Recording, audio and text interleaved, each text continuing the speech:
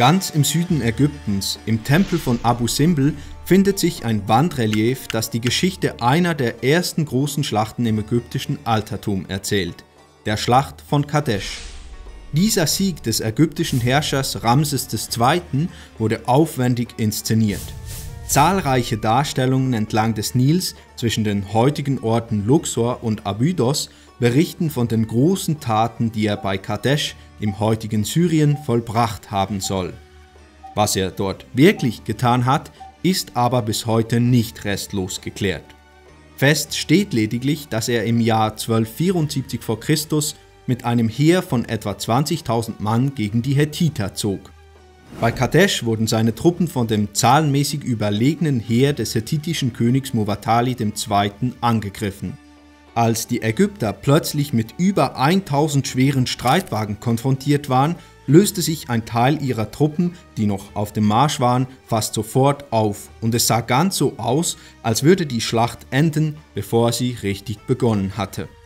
Hier lassen die meisten Quellen Ramses II. heldenhaft im Alleingang 1500 feindliche Wagen vernichten. Wahrscheinlicher ist aber, dass der Pharao zusammen mit den Streitwagen, die bereits eingetroffen waren, die Hethiter überrannte, die gerade dabei waren, sein Lager zu plündern, ihre Flanke in Unordnung brachte und dann mit Verstärkung, die von Westen her eintraf, einen Gegenangriff startete. Als schließlich weitere Truppen das Schlachtfeld erreichten, gewannen die Ägypter die Oberhand und schlugen die Hethiter zurück. Wenn Ramses II. tatsächlich 20.000 Mann oder mehr befehligte, was die meisten Historiker für glaubhaft halten, war das eine Armee, wie sie die Welt zuvor noch nicht gesehen hatte. Und Kadesh ist nur eine von vielen Gelegenheiten, bei denen das neue Reich Ägyptens große Heere aushob. Welche Leistung das war, zeigt sich daran, dass es Feldherren und Herrscher noch sehr viel später vor große Herausforderungen stellte, eine solche Anzahl Truppen so weit weg von der eigenen Basis einzusetzen.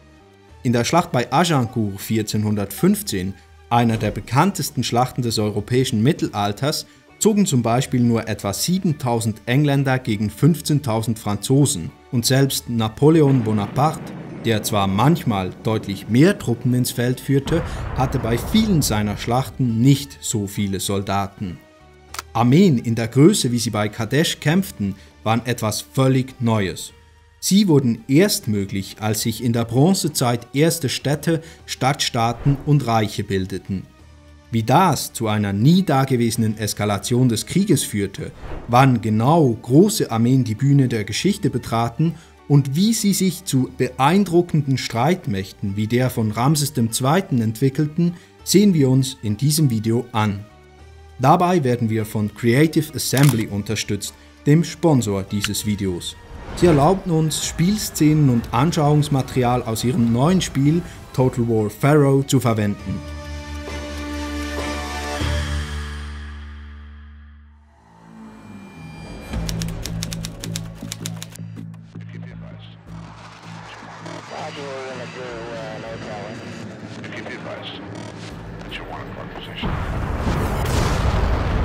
Während der Luftoffensive gegen den Irak im Zweiten Golfkrieg warfen die USA und ihre Verbündeten 88.500 Tonnen Bomben über dem Irak ab. Manche verfehlten ihre strategischen Ziele und gingen in der Wüste nieder. Vier davon schlugen unmittelbar neben der 4000 Jahre alten Zikkurat von Ur ein, einem altsumerischen Stufentempel, der 1980 unter Saddam Hussein restauriert worden war. In den gleich nebenan gelegenen Königsgräbern von Ur hatte der britische Archäologe Sir Charles Leonard Woolley gut 60 Jahre vorher, 1927 und 28, ein wichtiges Artefakt gefunden, ein reich verziertes hölzernes Kästchen. Woolley hielt es zunächst für eine Standarte, weshalb es als die Standarte von Ur bekannt wurde. Dieses Fundstück ist eine der ersten bildlichen Quellen zu einer Armee und eine der wichtigsten zur Kriegsführung der Sumerer um 2500 v. Chr. Die Sumerer lebten zwischen den Flüssen Tigris und Euphrat im sogenannten Mesopotamien oder Zweistromland. Dort gab es verschiedene Stadtstaaten wie etwa die bekannten Kish, Uruk, Ur und Lagash die sich gegenseitig bekämpften und von einer religiösen Königsfigur angeführt wurden, die gewählt wurde. Im Osten Sumas lag das Königreich Elam, das in das Zweistromland hineindrängte. Diese andauernden Kämpfe untereinander und der Druck von dem östlichen Nachbarn führten laut den Autoren des militärhistorischen Standardwerkes World History of Warfare dazu, dass sich die sumerischen Stadtstaaten im Laufe der Zeit zu dynastischen Reichen entwickelten und institutionalisierte, strukturierte Heere aufbauten. Aber wie sahen diese frühen Armeen aus, wie kämpften sie und welche Einheiten setzten sie ein? Einige Hinweise darauf finden wir auf der Standarte von Ur, deren sogenannte Kriegsseite eine der ältesten Abbildungen einer sumerischen Armee zeigt, die von ihrem König in die Schlacht geführt wird. Was als erstes ins Auge fällt, ist, dass das abgebildete Heer aus Streitwagen und Fußsoldaten besteht. Bei den Streitwagen, die vermutlich das bekannteste Element bronzezeitlicher Kriegsführung sind, handelt es sich nicht um wendige Modelle, wie sie Ramses II. bei Kadesh einsetzte, sondern um einfache, schwerfällige Karren, die von Maultieren oder sogenannten asiatischen Halbeseln gezogen wurden. Pferde, wie wir sie heute kennen, gab es damals nämlich noch nicht. Es bedurfte noch vieler Generationen der Zucht, um die majestätischen Tiere zu erschaffen, die in der klassischen Antike oder im Mittelalter verwendet wurden. Die sumerischen Streitwagen boten Platz für einen Fahrer und einen Kämpfer, der mit Wurfspeeren und einer Axt ausgerüstet war. Diese Illustration und einige andere, die wir in diesem Video zeigen, wurden uns übrigens vom Zeughaus Verlag zur Verfügung gestellt. Das Heft Die Heere im alten Orient, aus dem sie stammen, und viele weitere zu spannenden militärhistorischen Themen findet ihr über den Link in der Beschreibung. Weil die Streitwagen vier solide Holzräder und eine steife Vorderachse hatten, waren sie langsam und konnten schlecht manövrieren. Das führte dazu, dass sie einen riesigen Wenderadius hatten und nicht dazu geeignet waren, auf den Feind zuzufahren, ihn anzugreifen und sich dann wieder zurückzuziehen. Stattdessen fuhren sie wahrscheinlich an seiner Front oder Flanke vorbei, um ihn mit Speeren zu bewerfen, brachten hochrangige Kämpfer zum Schlachtfeld oder verfolgten fliehende Feinde. Das zweite zentrale Element der sumerischen Kriegsführung waren Fußsoldaten mit Speeren. Auf der Standarte von Ur tragen sie Helme und eine Art lange Mäntel, deren Funktion unklar ist. Als Rüstung dürften sie in der abgebildeten Form eher unpraktisch gewesen sein. Die Soldaten stehen sehr eng beieinander, weshalb manche Historiker vermuten, dass sie eine Art Schildwall oder Phalanx bildeten. Ganz so eindeutig ist das zwar nicht, aber man erkennt zumindest, dass es eine gewisse Ordnung gab, dass die sumerische Infanterie in einer engen Formation marschierte und dass sie vor allem Speere und Äxte benutzte. Etwas deutlicher wird das Bild erst mit einem zweiten Fund, der etwa 50 Jahre jünger ist als die Standarte von Ur. Im Louvre in Paris werden sieben Fragmente der sogenannten Gaia-Stele von Lagash aufbewahrt.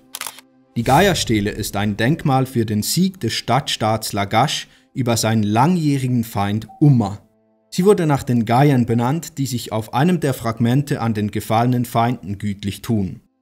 Das größte Bruchstück der Stele zeigt sechs Reihen Infanterie mit langen Speeren und viereckigen Schilden, die von ihrem König Eanatum in die Schlacht geführt werden. Hier wird die Infanterie in noch engeren Reihen mit überlappenden Schilden dargestellt, so dass sie tatsächlich ziemlich stark an eine Phalanx erinnert, wie sie die griechischen Hopliten 1800 Jahre später bildeten. Damit gibt es für die meisten Historiker keinen Grund mehr daran zu zweifeln, dass eine Phalanx-ähnliche Formation die Kriegsführung in Mesopotamien prägte. Allerdings darf man nicht vergessen, dass es sich bei beiden Artefakten um stark vereinfachte Darstellungen handelt, die sehr viel Interpretationsspielraum lassen. Beide Objekte haben vermutlich gar nicht den Anspruch, Ereignisse Aufstellungen oder Waffen genau wiederzugeben, sondern sollen vor allem die Leistung des siegreichen Königs betonen. Trotz dieser Unsicherheiten gehen die meisten Historiker davon aus, dass diese frühen Armeen den Feind mit einem Angriff der leichten Infanterie mit Wurfspeeren oder Streitwagen schwächten und dann die schwere Infanterie vorrückte, um mit ihrer Masse den Kampf zu entscheiden dass ein Heer vor allem auf den direkten Kampf Mann gegen Mann setzte, ist heute manchmal schwer vorstellbar, weil moderne Armeen fast ausschließlich auf Schusswaffen, Artillerie und moderne Technologie wie Drohnen und Lenkwaffen setzen. Für einen großen Teil der Geschichte, von der Vorgeschichte bis in die frühe Neuzeit, war das jedoch anders. Distanzwaffen wie Wurfspeere und Bogen konnten den Feind zwar schwächen, aber entschieden wurde eine Schlacht im Nahkampf. Entsprechend waren auch Nahkampfwaffen wie Streitkolben und Speere besonders wichtig. Und gerade diese Waffen machten am Ende der Jungsteinzeit einen entscheidenden Fortschritt. Die Menschen hatten nämlich begonnen, mit neuen Werkstoffen zu experimentieren.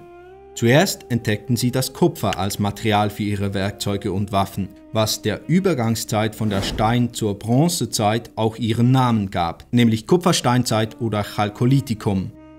Kupfer machte neue Fertigungstechniken möglich, zum Beispiel das Gießen von Gefäßen, war aber auch sehr weich und verformte sich rasch, etwa wenn es als Werkzeug benutzt wurde. Diese Nachteile wurden reduziert, als die Menschen entdeckten, dass man Kupfer mit Zinn oder Arsen legieren kann und so ein viel stärkeres Metall erhält, nämlich Bronze. Mit Bronze konnten bessere Waffen wie Streitäxte und metallene Spitzen für Speere hergestellt werden. Weil diese neuen Angriffswaffen viel effektiver waren, entwickelte man dann bald auch bessere Schutzwaffen wie Metallhelme, Schilde mit Schildbuckeln und erste Schuppenpanzer. Welche Waffen die Soldaten Lagaches verwendeten, ist im unteren Teil des großen Bruchstücks der Geierstele zu sehen. Dort führt der König, dieses Mal in einem Streitwagen, seine Soldaten auf dem Marsch an, was an ihrer entspannten Haltung zu erkennen ist. Sie tragen ihre Äxte und Speere auf den Schultern. Der König selbst trägt ebenfalls ein Speer und ein Sichelschwert, wobei es sich aber wohl eher um eine rituelle Waffe handelt, denn zu dieser Zeit konnten zwar Schwerter aus Kupfer und Bronze hergestellt werden, aber sie waren aufgrund ihrer langen und dünnen Form in Verbindung mit den Materialeigenschaften von Bronze nicht besonders gut geeignet, um zu kämpfen. Später wurden bessere Bronzeschwerter entwickelt, aber wirklich stabile Waffen mit einer strapazierfähigen Schneide konnte man erst aus Eisen herstellen. Deshalb hatten Äxte, Dolche, Speere und Wurfspeere in der Kriegspraxis eine weit größere Bedeutung als Schwerter. Obwohl die Informationen sehr spärlich sind und wir nur wenig über Organisation und Funktionsweise dieser Armeen wissen, ist klar, dass sie ohne ausgeklügelte Logistik und Organisation nicht hätten funktionieren können. Von Eanatum, dem König auf der Geierstele, wissen wir zum Beispiel, dass er ausgedehnte Kriegszüge oder zumindest Überfälle ins Nachbarreich Elam unternahm. Eine militärische Operation so weit von der Heimat entfernt bedingt nicht nur eine gute Logistik, sondern auch eine klare hierarchische Struktur und eine solide Organisation. Es waren Armeen wie die von Eanatum, ausgerüstet mit Waffen aus Bronze, gut organisiert und sehr diszipliniert, auf deren Schultern bald die ersten Großreiche entstehen sollten.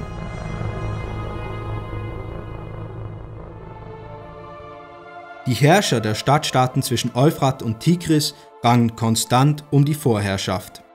Im Süden von Sumer, nahe des Persischen Golfes, eignete sich ein Mann, der heute als Lugal Zagesi bekannt ist, um etwa 2375 v. Chr. widerrechtlich den Thron von Umma an. Er hatte große Ambitionen und zog bald mit einem Heer gegen Lagash, den alten Feind, mit dem sich seine Stadt seit mehreren Generationen um fruchtbares Gebiet gestritten hatte. Nachdem er die Stadt dem Erdboden gleichgemacht hatte, tat er etwas, was vorher, soweit wir wissen, noch nie vorgekommen war. Er setzte seinen Kriegszug fort, um weitere Stadtstaaten zu unterwerfen.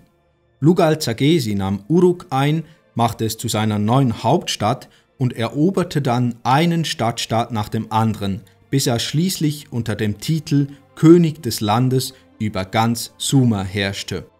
Was das genau bedeutete, Wie viel Kontrolle er wirklich über die Stadtstaaten in seinem Einflussgebiet hatte und wie er es überhaupt schaffte, seinen Einfluss so stark zu erweitern, ist aber unklar. Fest steht, dass ein solches Unterfangen eine weit komplexere Administration, Organisation und Logistik voraussetzte als ein einfacher Feldzug. Lugalzagesi wurde zum ersten König über mehrere Stadtstaaten, weil er die Kriegsführung bezüglich Umfang und Raffinesse auf ein völlig neues Level brachte. Trotzdem sollte die Herrschaft des Königs des Landes nicht lange währen. Etwas weiter im Nordosten, in Akkad, einer Region, die Suma sehr ähnlich war und ebenfalls aus Stadtstaaten bestand, lebte ein Mann, der mindestens so ehrgeizig war wie Lugal Zagesi. Der Mann, der vermutlich aus einfachen Verhältnissen stammte und am Hof des Königs Urzababa von Kish Karriere machte, sollte bald als Sargon von Akkad bekannt werden. Auch er nutzte seine Position am Hof aus, um seinen König zu stürzen und die Macht an sich zu reißen. Sargon bezeichnete sich selbst als Sharu Ken, was meist als der legitime König übersetzt wird. Sargon zog bald, nachdem er den Thron bestiegen hatte, mit einem gewaltigen Heer gegen Lugal Zagesi. Er führte zahlreiche Schlachten gegen den sumerischen König und seine Fürsten, bis er ihn schließlich in seiner Hauptstadt Uruk besiegte und sie einnahm. Dann gründete er eine neue Hauptstadt, Akkad, deren genauen Standort wir bis heute nicht kennen, und setzte dann seine Eroberungskriege fort und schuf ein Reich, das noch größer war als das von Lugal Zagesi und sich vom Mittelmeer bis zum Persischen Golf erstreckte. Dementsprechend nannte sich Sargon nicht nur König des Landes, sondern Shar Kishatim, König der Welt. Sein Reich gilt als das erste Großreich der Geschichte. Wie Sargon dieses Reich genau errichtete und warum seine Armee der von Lugal-Zagesi so deutlich überlegen war, ist unklar. Einen Hinweis gibt eine weitere Inschrift, auf der steht, 5400 Mann essen täglich im Beisein von Sargon, dem König der Welt, dem der Gott Enlil keinen Rivalen gab. Diese Stelle wird sehr unterschiedlich übersetzt und interpretiert, aber laut dem Oxford Handbuch des Staates im antiken Nahen Osten und dem Mittelmeerraum deuten sie viele Historiker als Hinweis darauf, dass Sargon das erste stehende Heer der Geschichte unterhielt. Das sollte sicher mit Vorsicht genossen werden, aber wenn es tatsächlich der Fall war, wäre das eine absolut revolutionäre Neuerung gewesen. Die Kriegsführung war in dieser Zeit nämlich saisonal und Feldzüge konnten nur eine bestimmte Zeit dauern, weil die Männer zur Erntezeit auf den Feldern benötigt wurden, damit das eigene Volk versorgt werden konnte. Ein stehendes Heer war deshalb nur möglich, wenn eine Gesellschaft mehr Männer versorgen konnte, als auf den Feldern arbeiten mussten. Wenn Sargon es geschafft hat, über 5000 Mann aus Überschüssen zu versorgen und als stehendes Heer zu unterhalten, hätte ihm das einen immensen Vorteil gegenüber seinen Feinden verschafft. Ein zweiter Punkt, der zur Überlegenheit der akkadischen Armee beitrug, war, dass sie massenhaft Bogenschützen einsetzte. Die früheste bekannte Darstellung dieser Waffe in einem kriegerischen Kontext aus dem Nahen Osten findet sich auf der sogenannten Naram-Sin-Stele, die zwischen 2260 und 2223 v. Chr. angefertigt wurde und einen Sieg von Sargons Enkel Naram-Sin über einen feindlichen Stamm darstellt. Diese Bogenschützen setzten auf eine recht neue Technologie, nämlich auf Bogen, die aus Holz, Horn und Sehnen zusammengefügt wurden, sogenannte Kompositbogen.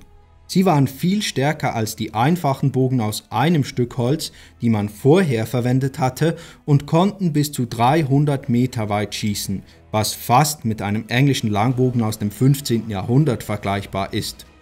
Diese Kompositbogen waren zur Zeit Naram-Sins ein Kernelement der arkadischen Infanterie. Weil es meist einige Zeit dauert, bis eine Waffe solche Wichtigkeit erlangt, sind sich Historiker einig, dass der Bogen schon viel früher an Bedeutung gewann, wahrscheinlich schon unter Sargon zentral war und entscheidend zu seiner Überlegenheit beitrug. Abgesehen von den Bogenschützen setzte die arkadische Armee vor allem auf leichte Infanterie, Axtkämpfer und Speerträger. Die schwerfälligen Streitwagen verschwanden dagegen vorerst von den Schlachtfeldern. Lange Zeit haben die Römer mit ihren disziplinierten Legionen und die alten Griechen mit ihren Verlangen die Aufmerksamkeit der Historiker auf sich gezogen und den Blick weiter in die Vergangenheit versperrt. Erst vor etwa 60 Jahren ist die prähistorische und bronzezeitliche Kriegsführung im Nahen Osten stärker in den Fokus der Forschung gerückt. Ein wesentlicher Grund für diese Vernachlässigung war, dass man im Fall einer der wichtigsten Mächte der Bronzezeit dachte, sie wäre fast gar nicht militarisiert gewesen. Die Rede ist vom Alten Reich der Ägypter. Das beruhte auf der Fehlannahme, dass ein Reich, das keine expansive Strategie verfolgte, weniger militärische Strukturen brauchte oder sogar ohne ein richtiges Heer auskommen konnte. Das ist aber grundsätzlich falsch, denn auch wenn die Pharaonen des Alten Reiches fast ausschließlich auf die Defensive setzten, hatte ihr Reich große militärische Kapazität. Aufzeichnungen und Funde belegen, dass die Zivilisation am Nil aus dem Krieg geboren und durch militärische Macht aufrechterhalten worden ist.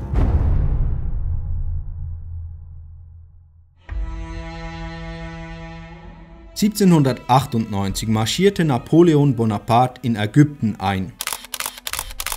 Bei seinen Truppen befand sich der Kunstsammler und Archäologe Dominique Vivant Denon. Er untersuchte mit großer Begeisterung die Stadt Hierakonpolis, die am Ende der prädynastischen Zeit, also um 3100 v. Chr., das religiöse und politische Zentrum Oberägyptens war. Ziemlich genau 100 Jahre später fanden Archäologen dort eines der berühmtesten Artefakte der Geschichte, die sogenannte Nama-Palette. Obwohl umstritten ist, was sie wirklich abbildet, glauben die meisten Ägyptologen, dass darauf die gewaltvolle Vereinigung Ober- und Unterägyptens durch König Nama zu sehen ist, die durch diese beiden sogenannten Schlangenhalspanther symbolisiert wird.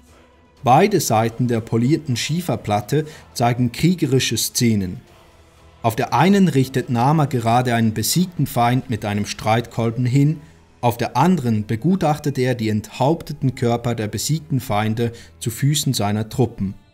Zusammen mit anderen ähnlichen Darstellungen etwa einer, die noch etwas älter ist und die Belagerung von sieben befestigten Städten mit einfachen Belagerungsmaschinen zeigt, wird die Nama-Palette als Beleg dafür ausgelegt, dass organisierte Kriegsführung schon sehr früh im Alten Reich eine wichtige Rolle spielte. Die Militarisierung des Alten Reiches ist aber nicht offensichtlich, weil es eine defensive Grand Strategy verfolgte. Als Grand Strategy bezeichnet man den großen Gesamtplan für die Verteidigung der Sicherheit und Integrität eines Staates, was auch expansive Bemühungen umfassen kann. Dabei können diplomatische, wirtschaftliche und militärische Mittel eingesetzt werden. Die Idee einer offensiven Grand Strategy geht auf eine Reihe von Denkern um den berühmten Militärwissenschaftler Karl von Clausewitz zurück. In ihrem Rahmen geht man davon aus, dass es unbedingt nötig ist, eine schlagkräftige Armee mit offensiven Möglichkeiten zu unterhalten, um die Sicherheit eines Staates zu gewährleisten. Solche offensiven Grand Strategies haben lange die Politik der Welt dominiert. Seit dem Zweiten Weltkrieg überwiegen jedoch defensive Strategien, bei denen es darum geht, sich im Notfall verteidigen zu können, aber ansonsten den direkten Konflikt zu vermeiden. Auch die Grand Strategy des Alten Reiches nach der Vereinigung durch Nama war fast ausschließlich defensiv und drehte sich darum, das Kerngebiet am Nil zu verteidigen, indem die natürlichen Grenzen Ägyptens ausgenutzt und verstärkt wurden. Das verleitete viele Historiker zu der Annahme, dass Ägypten zu dieser Zeit nur über eine rudimentäre Armee verfügte oder vielleicht sogar nur über eine Art Polizeitruppe. Aber am Rand des fruchtbaren Streifens entlang des Nils, etwa 600 Kilometer nördlich von Hierakonpolis, liegen die Königsgräber von Deschaché, die ein Wandrelief enthalten, das zeigt, dass das nicht der Fall war. Auf diesem Relief im Grab von Anta ist nämlich zu sehen, wie eine ägyptische Armee eine Festung belagert. Soldaten mit Brechstangen und Leitern versuchen einen Wall zu überwinden, während sich andere mit Äxten und Bogen ein hitziges Gefecht liefern. Es ist klar, dass ein solches Vorgehen die Möglichkeiten einer simplen Polizeitruppe überschreitet. Außerdem gibt es in der Biografie des hohen Beamten Veni Hinweise darauf, dass es neben regulären Truppen bereits eine Art Wehrpflicht gab und dass nubische Söldner eingesetzt wurden. Abgesehen davon ist aber so gut wie nichts über die Heeresstruktur des Alten Reiches bekannt. Um etwa 2160 v. Chr. führten ökonomische und klimatische Veränderungen dazu, dass lokale Adlige, die sogenannten Barone oder Gaufürsten, immer mächtiger wurden. Nach und nach entglitt dadurch den Pharaonen die Kontrolle. Es kam zu inneren Auseinandersetzungen und eine Periode der Unruhe begann, die sogenannte Erste Zwischenzeit. Sie dauerte bis um 2055 v. Chr als Mentuhotep II. das Reich unter seiner Herrschaft wieder vereinte. Ausgehend von ihrem neuen Machtzentrum in Theben reorganisierten die Pharaonen ihre Armee in den nächsten Jahren. Sie schafften es nicht, die Privatarmeen der lokalen Machthaber völlig zu beseitigen, aber sie brachten wieder einen großen Teil der militärischen Macht unter ihre Kontrolle, indem sie ein stehendes Heer auf Reichsebene schufen, das stark genug war, um Privatkriege zu unterdrücken und die Grenzen des Reiches zu schützen. Dieses neue Heer gab den Pharaonen die Möglichkeit, eine andere, innovative Grand Strategy zu verfolgen. Das war nötig, weil es während der ersten Zwischenzeit wiederholt zu Einfällen von plündernden Nomaden aus Palästina gekommen war. Ägypten ließ also von seiner rein defensiven Strategie ab. Bald marschierten ägyptische Heere nach Norden, um die Niederlassung der Nomaden auszumachen und zu zerstören. Bei diesen strategischen Suchen- und Vernichten-Missionen stießen sie möglicherweise bis zur Mündung des Orontes vor. Das war nicht Teil von imperialistischen Ambitionen, sondern einer vorwärtsgewandten Verteidigung, bei der die Pharaonen ein großes Gebiet außerhalb ihres Kernreiches überwachten und am Isthmus von Suez eine Festungslinie als letzte Abwehrfront aufbauten. Das System von Forts, das sie dort einrichteten, ist als die Welle des Prinzen bekannt. Leider ist diese Verteidigungslinie nur schriftlich überliefert und laut dem Ägyptologen James Hoffmeyer gibt es keine archäologischen Spuren, weshalb es schwierig ist auszumachen, wo diese Verteidigungsanlagen genau waren. Im Süden des Reiches waren es die Nubier, die eine ständige Bedrohung darstellten. Dort reagierte Ägypten mit einer klassischen Defense-in-Depth-Strategie, in deren Rahmen es sein Einflussgebiet bis zum zweiten Katarakt erweiterte. Die sogenannten Katarakte sind flache Stromschnellen im Nil, die mit Schiffen nicht passierbar sind und deshalb natürliche Unterbrüche im Flusslauf bilden. Die Ägypter besiedelten das eroberte Land aber nicht, sondern machten es zu einer militarisierten Zone. In diesem Bereich, der bis zu einer zweiten Verteidigungslinie auf der Höhe des ersten Katarakts reichte, kontrollierte die ägyptische Armee Flüsse und entscheidende Wegpunkte, indem sie mindestens 21 Festungen und zahlreiche Forts errichtete.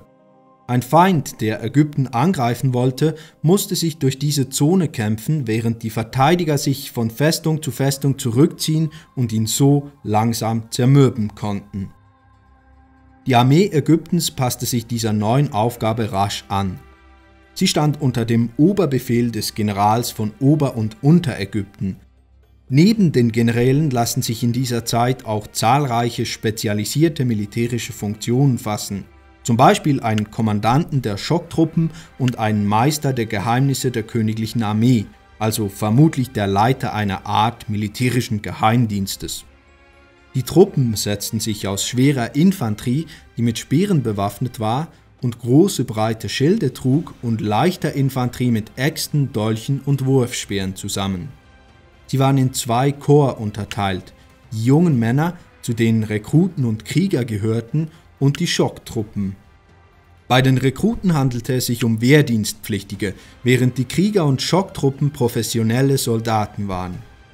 Zusätzlich gab es nun auch eine persönliche Garde für den Pharao, die im Frieden den Palast bewachte und im Krieg als Elitetruppe an seiner Seite kämpfte.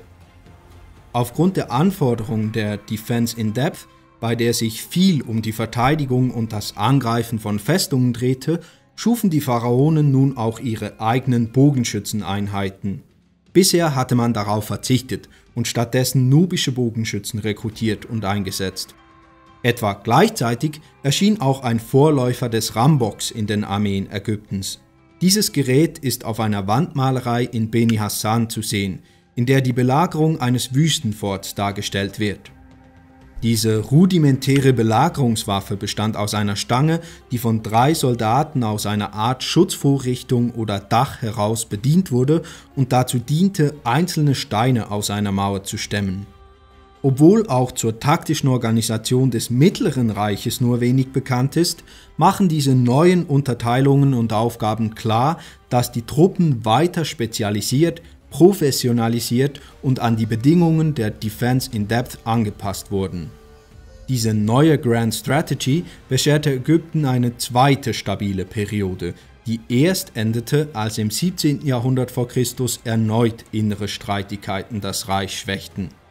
Nun fielen nubische Stämme in Oberägypten ein und semitische Völker aus dem Osten drängten ins Nildelta. Diese Eindringlinge aus dem Osten übernahmen schließlich die Kontrolle über Ägypten. Die Anführer dieser Völker nannten die Ägypter Hyksos, Herrscher der Fremdländer. Um 1600 v. Chr. erhoben sich die Ägypter gegen die fremden Herrscher. Die Armeen, die in diesen Befreiungskriegen kämpften, verwendeten eine Reihe von Neuerungen aus Westasien, die wohl zumindest zum Teil von den Hyksos eingeführt wurden oder zumindest beeinflusst waren. Dazu gehörten unter anderem Schuppenpanzer, Kompositbogen und vor allem von Pferden gezogene Streitwagen. Diese neuen, wendigen Gefährte aus Asien hatten nichts mehr mit den schwerfälligen Karren der Sumerer zu tun. Sie hatten Speichenräder, nur noch eine Achse und wurden von richtigen, wenn auch kleinen Pferden gezogen. Diese Streitwagen, die meistens mit einem Bogenschützen und einem Fahrer besetzt waren, entwickelten sich rasch zur wichtigsten Offensivwaffe der ägyptischen Heere und zum Symbol für deren Schlagkraft. Trotzdem kämpften sie nicht isoliert, sondern arbeiteten effektiv und gut koordiniert mit der Infanterie und den Bogenschützen zusammen. Unter anderem dank dieser Neuerungen gelang es Pharao Ahmose I. Mitte des 16. Jahrhunderts vor Christus, die Hyksos aus dem Nildelta zu vertreiben. Unter ihm und seinen Nachfolgern Tutmose III. und Ramses II. änderte Ägypten seine lange verfolgte defensive Grand Strategy komplett. Die Ägypter gingen nun in die Offensive und unternahmen regelmäßig Expeditionen nach Syrien und Äthiopien, um die dort lebenden Völker zu unterwerfen. Thutmose III. führte zum Beispiel während seiner Regierungszeit nicht weniger als 15 Kriegszüge nach Syrien und Palästina. Passend dazu änderte sich auch das Bild der Pharaonen. Sie maßen sich nun an ihren Leistungen auf dem Schlachtfeld und inszenierten sich als Kriegsgötter, die auf ihren Streitwagen eine professionelle Armee in die Schlacht führten. Diese neue imperialistische Politik war vor allem eine Reaktion auf veränderte militärische Umstände. Die Pharaonen des neuen Reiches hatten es nämlich mit wesentlich widerstandsfähigeren Feinden zu tun, wie zum Beispiel dem Großkönigtum der Mitanni oder dem Reich der Hethiter, so dass eine Defense in Depth und Suchen und Vernichten Missionen keine Optionen mehr waren. Die neuen Nachbarn hatten selbst große, mobile und schlagkräftige Armeen, um ihren Einfluss in der Levante zu sichern, brauchten die Pharaonen darum ebenfalls eine größere Armee, mit der sie weit über ihre Grenzen hinaus umfangreiche Kampagnen führen konnten. Gleichzeitig wurde auch die Diplomatie zu einem wichtigen Mittel, denn ohne Verbündete und Klientelreiche war es in dieser politischen Lage aussichtslos, die Integrität Ägyptens zu wahren. Diese neue Grand Strategy, die vor allem auf mobilen Armeen und diplomatischen Verbindungen basierte, unterschied sich auch in der Verteidigung klar von denen des alten und mittleren Reiches. Befestigungsanlagen und defensive Militärzonen waren nun nicht mehr wichtig. Stattdessen sicherte man die Grenzgebiete mit großen mobilen Verteidigungsarmeen. Diese neuen schlagkräftigen Heere zählten zu den effizientesten der Geschichte. Sie waren hochprofessionell, hatten eine klare Kommandostruktur und bauten auf einem leistungsfähigen organisatorischen und logistischen Apparat auf. Der Pharao amtierte passend zur neuen Selbstwahrnehmung meist als Oberbefehlshaber, sein Tiati oder Wesir, der oberste Beamte des Reiches, als Kriegsminister und die Generäle bildeten einen beratenden Kriegsrat. Die Truppen selbst bestanden aus Divisionen zu je 5000 Mann, die aus Streitwagen und Infanterie bestanden. Diese Divisionen waren taktisch unabhängig und setzten sich aus Kompanien zu 250 Mann zusammen, die wiederum aus fünf Einheiten mit 50 Mann bestanden. Dieses Heer, eine ausgeklügelte Kommandostruktur, ein zuverlässiges logistisches System und eine effiziente Rüstungsindustrie erlaubten es den ägyptischen Heerführern, Operationen durchzuführen, wie sie erst sehr viel später wieder möglich sein sollten.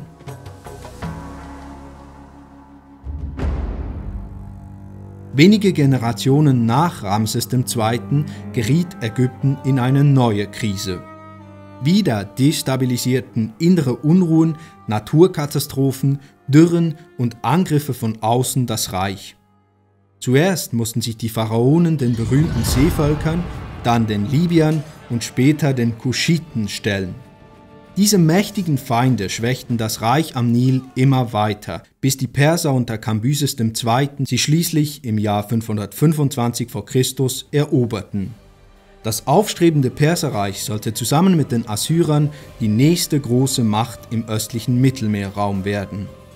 Ihren Aufstieg verdanken diese beiden Mächte nicht zuletzt zwei der wichtigsten Fortschritte der Menschheitsgeschichte, nämlich der Möglichkeit, Eisen zu verarbeiten und dem Gebrauch des Pferdes für den Krieg.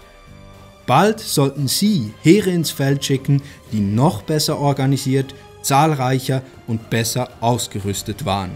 Sie sollten den Krieg in der Eisenzeit zu einer neuen Dimension bringen. Zum Schluss nochmals vielen Dank an Creative Assembly. Total War Pharaoh ist jetzt auf Steam erhältlich. Schaut euch das Spiel an und unterstützt gleichzeitig unseren Kanal, indem ihr auf den Link im angepinnten Kommentar oder in der Beschreibung klickt.